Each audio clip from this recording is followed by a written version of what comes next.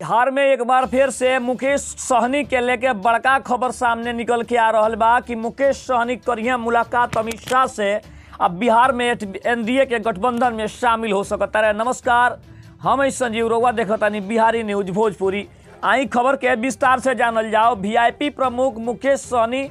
एक बार फिर से कयास लगावल जा रहा बा कि बहुत ही जल्द केंद्रीय मंत्री अमित शाह से उनका मुलाकात हो सकता है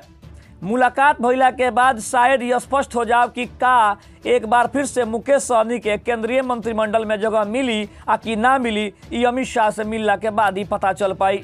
लेकिन बिहार में सियासी माहौल गर्म बा के देखते हुए, बिहार में अगर देखल जाओ तो मुकेश सहनी, चिराग पासवान, उपेंद्र कुशवाहा के साथ साथ में अगर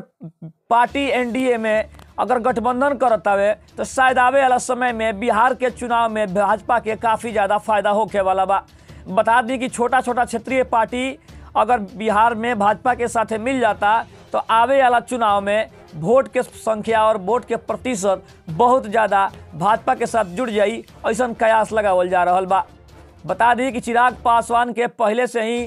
घोषणा हो चुकल बा कि एनडीए में बहुत ही जल्द मोदी कैबिनेट में उनका जगह मिल सकता। ओकरा बाद उपेंद्र कुशवाहा जदयू से बगावत करे के मूड में तैयार बाड़े। ओकरा बाद मुकेश सहनी की अगर बात कल जाओ तो मुकेश सहनी भी पहले ही इच्छा ज़ाहिर कर चुकल बड़े कि अगर एनडीए से ऐसा कोनो प्रस्ताव मिलता तो ऊ गठबंधन करे में थोड़ा सा भी देर ना करिए बता दी कि मुकेश सहनी के जनाधार बिहार में देखल जाओ तो बहुत बढ़िया बा। और चिराग पासवान के साथ अला के बाद भाजपा के काफ़ी ज़्यादा फ़ायदा भी होखे वाला बा। काहे कि मुकेश सहनी आज के युवा नेता बाड़े आ सन ऑफ़ मलाह के नाम से भी उनका के जानल जाला और बिहार में काफ़ी ज़्यादा संख्या में उनकर वोटर बाड़े।